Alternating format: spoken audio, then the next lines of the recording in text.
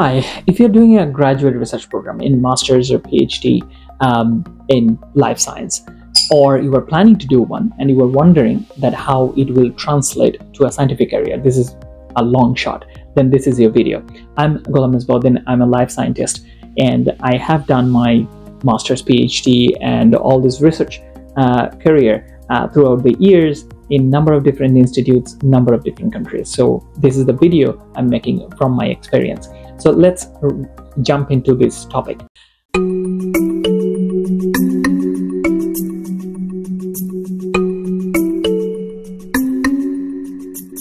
So um, I totally understand you are in a master's program or you're thinking to get, uh, get into a master's program or PhD program which has a research component, a supervisor is there, and um, you are working, you will be working, or you are working on a particular research topic where you are exploring a protein or a gene or a particular mechanism of a disease uh, or a cell line um, that you are troubleshooting a, a, particular technique.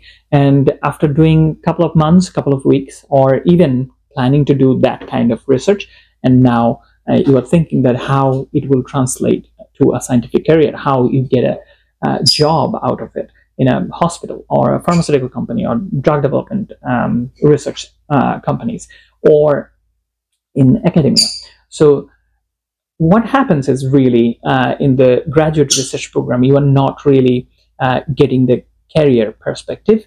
You are uh, getting uh, skill, knowledge, and also the experience that you are getting from that particular research. So this is not about translating directly that research to a career, rather than the time you spend, the knowledge you were gathering, the skill sets you were getting, um, uh, the techniques that you were learning, uh, the way you were presenting your scientific data, uh, and then the way you were collaborating with a number of different labs or your lab members, uh, that's what you are bringing to your resume. And that's what you are bringing uh, to your career. So it's not about a particular mechanism or pathway that you are exploring.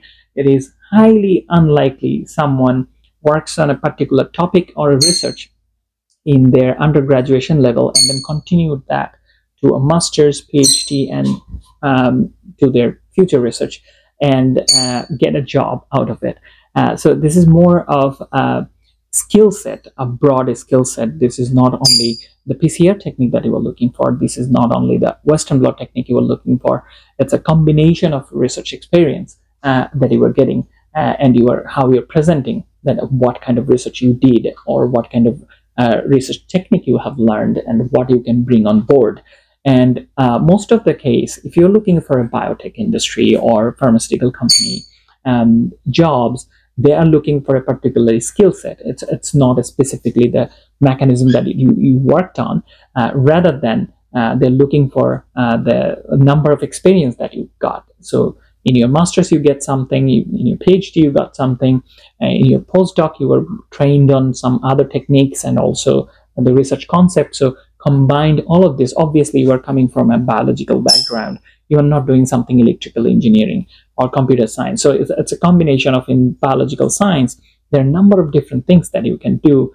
Obviously in my channel i'll be um, I'll try to record some more videos and like what are the different areas you can do um, and you can switch between the areas and how you can develop that skill set or a portfolio basically. Um, so that's how you will be translating over time to your scientific research, graduate research program to a scientific area.